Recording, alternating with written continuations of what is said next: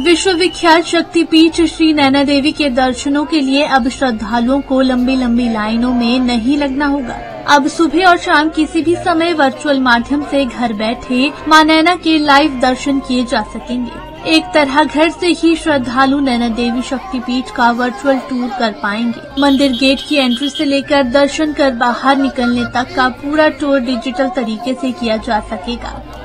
मंदिर न्यास के अध्यक्ष धर्मपाल चौधरी ने बताया कि नैना देवी माता की ऑफिशियल वेबसाइट पर जाकर क्लिक करते ही माँ नैना के लाइव दर्शन किए जा सके।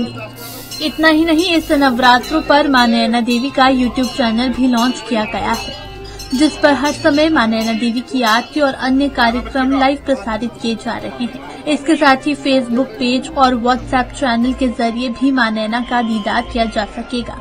यही नहीं इंस्टाग्राम पर भी मंदिर दर्शन की सुविधा उपलब्ध है। मंदिर न्यास की ओर से मंदिर दर्शन की ये हाईटेक सुविधा शुरू कर दी गई है जिसका श्रद्धालु घर बैठे लाभ ले सकते हैं। पहले तो शारदीय नवरात्रों की आ, माता के इन पावन नवरात्रों की सबको बहुत बहुत शुभकामनाएँ। और इन नवरात्रों को शारदीय नवरात्र इसलिए कहते हैं कि शरद ऋतु का जो है वो यहाँ से में मनाए जाते हैं। तो इसमें बहुत अच्छी सुविधाएँ हम जो है, वो प्रोवाइड कर रहे हैं। माता का मंदिर को सजाया गया है और श्रद्धालु दूर दूर से आके इसमें सजावट कर रहे हैं, लंगर लगा रहे हैं और सारी सुविधाएँ प्रोवाइड कर रहे हैं ताकि जितने भी श्रद्धालु बाहर से आ रहे हैं, वो अच्छे से दर्शन कर सकें, इनका आनंद उठा सकें और माता का लंगर जो है ग्रहण करके अपने घर घर वापस जो है अच्छे एक्सपीरियंस के साथ जा सकें। श्रद्धालुओं के लिए हमने अभी नवरात्रों में ही यूट्यूब चैनल लाइव जो है वो लॉन्च किया है। ये इसी क्रम में था कि हमने पिछले साल एक वेबसाइट क्रिएट की थी मंदिर न्यास की। तो उसमें सभी जो सोशल मीडिया में हमने काफ़ी अपनी प्रेजेंस को इम्प्रूव किया है।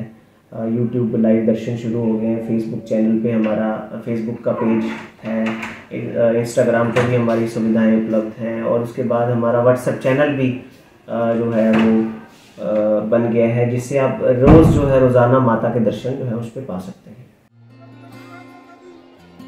आपको बता दें कि मंदिर न्यास अध्यक्ष धर्मपाल चौधरी पिछले काफ़ी समय से इस प्रोजेक्ट पर काम कर रहे थे। वहीं अब जो लोग माँ नैना के दर्शन के लिए मंदिर नहीं आ सकते हैं, अब वो घर बैठे ही दर्शन कर सकेंगे। इसके अलावा यदि कोई श्रद्धालु ऑनलाइन माध्यम से मंदिर के लिए डोनेशन देने का इच्छुक है तो ये सुविधा भी ऑनलाइन उपलब्ध है। पंजाब केसरी टीवी के लिए बिलासपुर से सुभाष ठाकुर की रिपोर्ट